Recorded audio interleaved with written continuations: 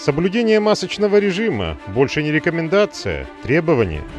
В Рио главы Дагестана Сергей Меликов подписал указ о дополнительных мерах по предотвращению распространения новой коронавирусной инфекции на территории Республики Дагестан. Документ обязывает граждан на территории республики в целях предотвращения распространения инфекции и до улучшения санитарно-эпидемиологической обстановки использовать средства индивидуальной защиты, маски, респираторы и иные СИЗы, в том числе изготовленные самостоятельно.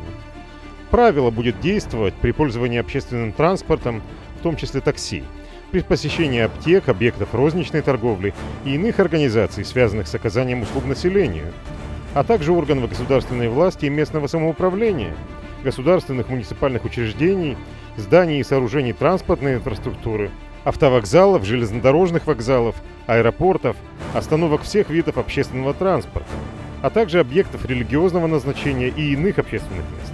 Кроме того, гражданам в возрасте старше 65 лет, а также страдающим хроническими заболеваниями бронхолегочной, сердечно-сосудистой и эндокринной систем, рекомендовано соблюдать режим самоизоляции.